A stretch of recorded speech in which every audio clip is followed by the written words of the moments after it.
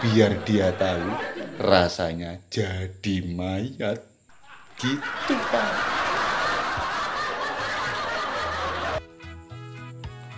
Eh bro, selamat apa aja ya bro? Waduh, ini kok tambah parah ini kelakuan manusia-manusia ini. Gimana nggak parah seorang petugas medis mati yang terpapar corona? Dia kan berjuang itu untuk menyelamatkan orang. Nah, dia sendiri terpapar, meninggal, jadi mayat, eh ditolak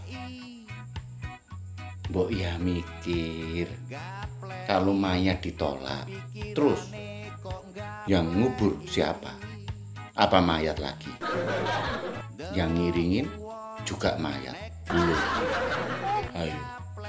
Apakah mayat bertemu mayat mengiringi mayat-mayat?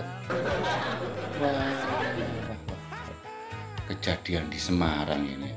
Ini saya mohon ini kepada bapak-bapak aparat atau bapak polisi. Udah pak pakai undang-undang apa aja yang menjadi provokator provokator. Nggak peduli itu siapa. Tangkap aja pak. Soalnya nanti malah ke mana-mana pak. Orang-orang Indonesia kan latah gini ikut gini ikut gini. Ini kan pertama kejadian di mana kalau nggak salah di Sulawesi atau di mana dulu yang orang mau bawa mayat kena obat dilempari batu menolak menolak. Akhirnya ke mana-mana.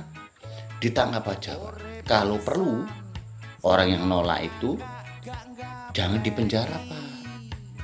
Dimasukin kamar bersama mayat biar dia tahu rasanya jadi mayat gitu pak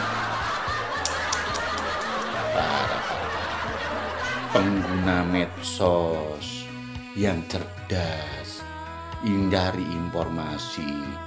Eh, pikirannya kok kayak pengguna pijat.